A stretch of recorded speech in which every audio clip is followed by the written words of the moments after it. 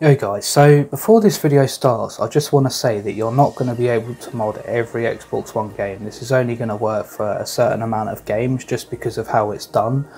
And I found this really cool, even though there's not a lot of games out there that are good that can be modded, but it's still fun to actually mod on Xbox One. And it's also good if you want to get achievements and you know you want to play new games that you've never actually played before and you want you know like infinity lives or infinity ammo just to make it go quicker. But yeah so let's get on with the video. So first things first what you're going to want to do is you want to go to the description of this video and you want to download this program here called cheat engine. Now we're going to be using this program to pretty much um, get certain stuff for the games like ammo and this program also changes the values of the ammo as well so we're going to be using the program to pretty much give us unlimited health, unlimited ammo and stuff like that. So yes, it is very useful if you download that. So like I said a minute ago about with um, not being able to mod every game, so if you're basically watching this video to put a mod menu onto GTA 5 or something like that for Xbox One, then I'm just going to tell you now that it's not possible and every video out there saying you can do that and the same as like Black Ops 4, aimbot and everything, it's, it's all fake. It's all done through PC gaming and stuff, it's nothing to do with Xbox One, it's just people wanting views and money on their videos. So basically how this thing works is there's something that Xbox released a couple of years ago called Xbox Play Anywhere. Now, if some of you don't know what that is, I'm going to tell you now. And what this allows you to do is it allows you to play games that you've bought on your Xbox One, but on your PC as well. So, say you bought Forza Horizon 4 on your Xbox One and you have um, like a gaming PC as well, you can download Forza Horizon 4 for free and play it on your PC as well and it uses your Xbox Live account and it also uses your saves and online rank and everything. So everything you do on your PC gets sent to your Xbox as well. So if you you know level up to like level 20 on a game it's going to be level 20 when you go onto your Xbox side as well. But the problem with this is not every game um, can do that yet. And I don't know why it's just something that they don't really update, but they are going to be updating it a lot soon. But yeah, if you go onto their website, you can basically see every game that um, they allow you to play on the PC as well. So in this tutorial, I'm going to pretty much download um, this game right here called SteamWorld Dig 2, just because it's a small game and I don't really have a lot of storage on my Xbox side and I don't really want to delete something like um, GTA 5 or something because um, it'll probably take me like two days to download again. But um, yeah, if you want to download this game as well, then be sure to do that. Okay, so now the game's downloaded, uh, what we're going to do is we're going to play that. So we click play. And I'm going to make the screen smaller on this just so we can see our desktop. Uh, put it about there.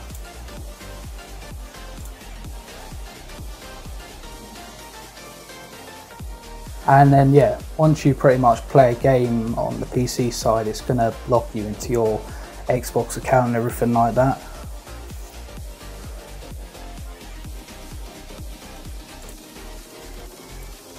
Okay so what I'm going to do is I'm going to delete a save and I'm going to start a new game just to show proof that this is working and I'm not using like a, a save I've spent um, hundreds of hundreds of hours on or something like that.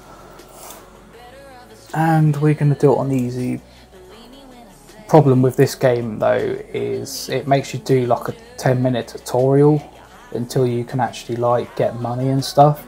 So what I'm going to pretty much do is skip the video until I can actually earn money. And um, yeah.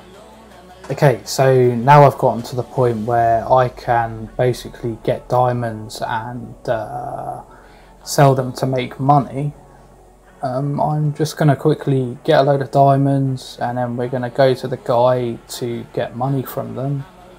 And then, uh, yeah, I'll show you how to mod the money.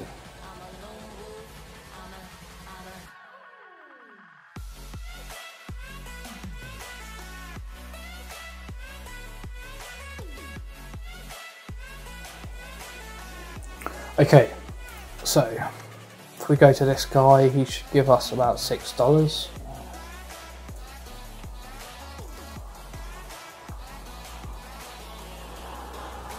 And then if we go over here, this is basically where we can buy stuff.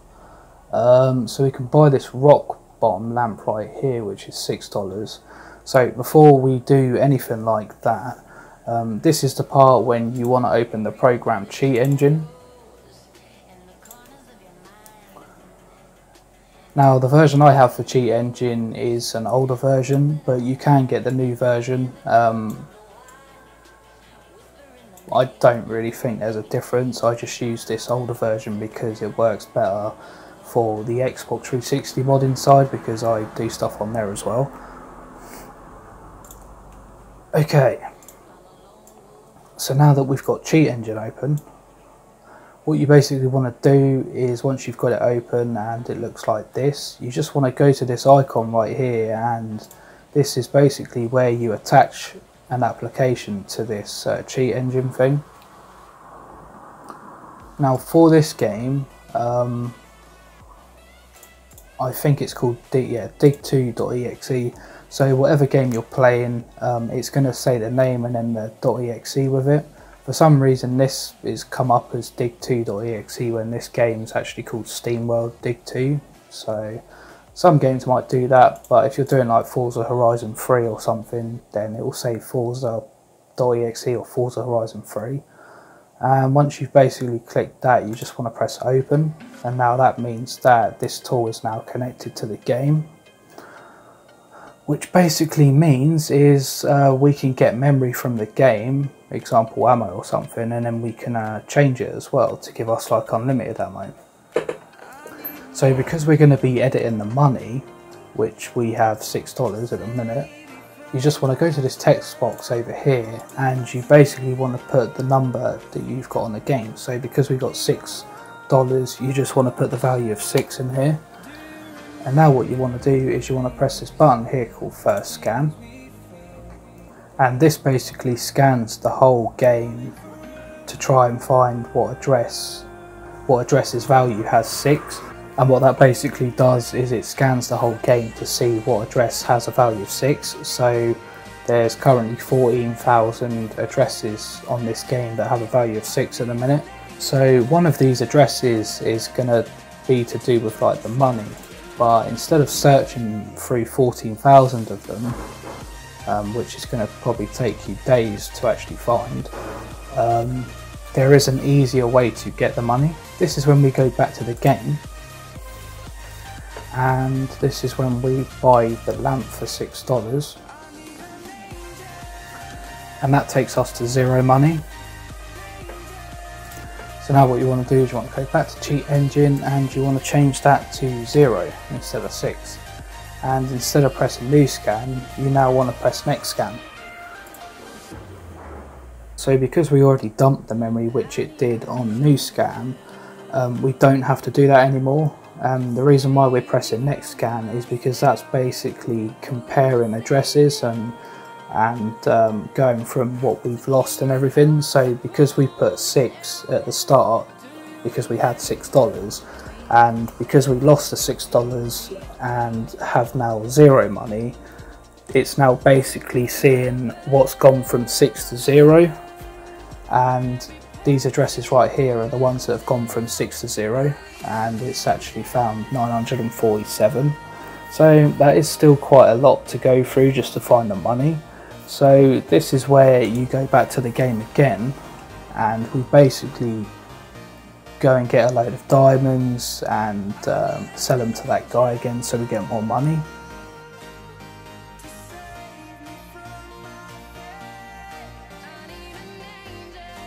I'm going to press start again. And we're going to go back to cheat engine and we're going to change the 0 to a 2 because we've got $2 now and then you want to press next scan again and now as you can see it's now only found 7 so there's only 7 addresses that have changed from 0 to 2 so you can keep doing this and the addresses will keep getting lower and lower until you get to like one address. But once it's at like when when it's found like seven or ten, um, you don't really have to worry about that anymore. So what you want to do when you've only got a couple, uh, you just basically want to highlight all of them and drag them down here.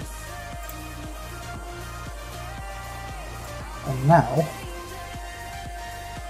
what this lets you do now is change the values of everything.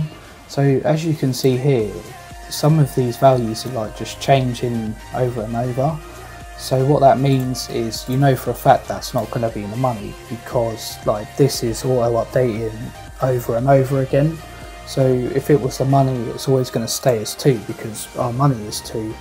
So you know for a fact that it's not going to be that so we're going to delete that and we're going to delete that one as well. Um, what other one changed? Yeah that one changed so delete that one this one's changing as well so we're going to delete that one. So it's going to be one of these. So if you double click on the two or below value of each address it comes up with this little box here which lets you change the value. So instead of 2 um, let's change that to let's say 50 and now if you go back to the game and you still only got two dollars and it's not changed then you know it's not going to be that address. So we're going to delete that one and we're going to do this one.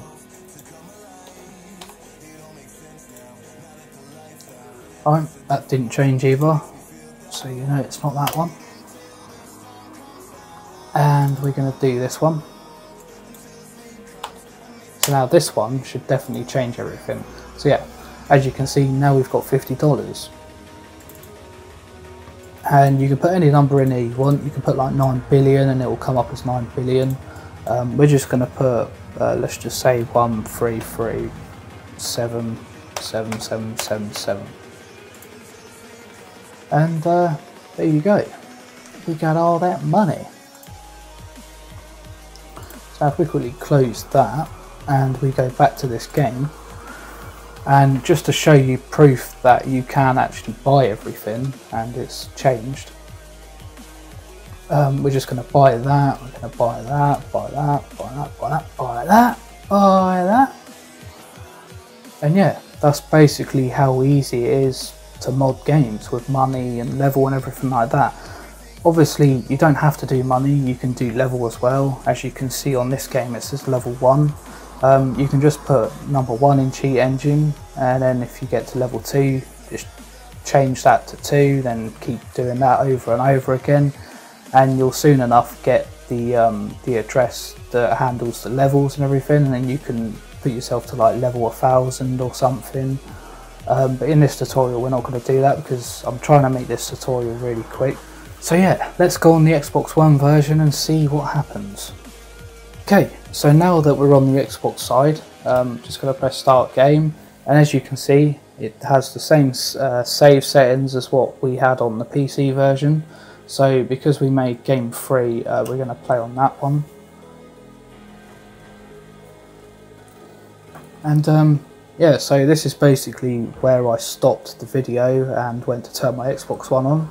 So if we press start and as you can see at the top right that was the money that we had. So there's proof that it does save. And um, yeah I hope you enjoyed this tutorial. If you need any help then be sure to uh, comment anything you want in the description. I'll try my best to help.